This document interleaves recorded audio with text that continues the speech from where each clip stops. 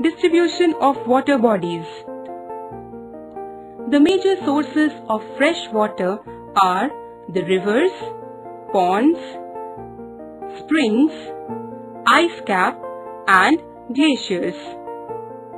The ocean and the sea's bodies contain salty water. The water of the oceans is salty or saline as it contains large amount of dissolved salts.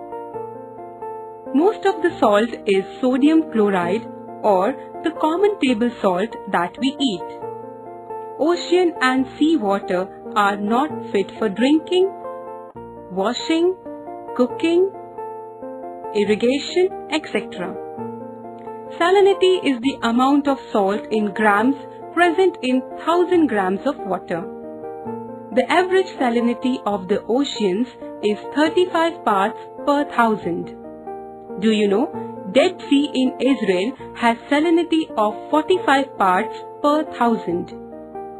Swimmers can float in it because the density of its salty water is more than that of the human body.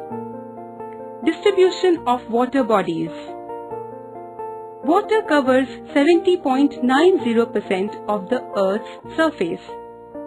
Why do so many countries face water scarcity? The following table gives the distribution of water in percentage.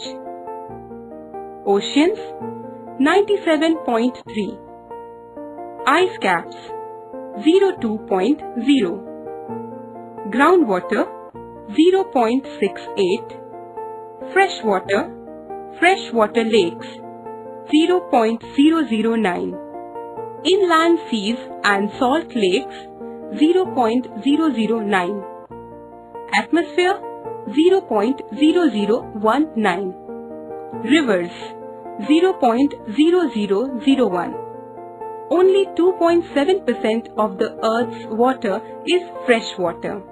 98% of that water is in ice and groundwater. Water is absolutely essential for survival. It makes the processes of life possible. Water alone can quench our thirst when we are thirsty. Water is the most precious natural resource on earth. Now don't you think we are wasting a precious resource when we use water carelessly? Do you know the ocean water never remains still? Ocean water is always on the move.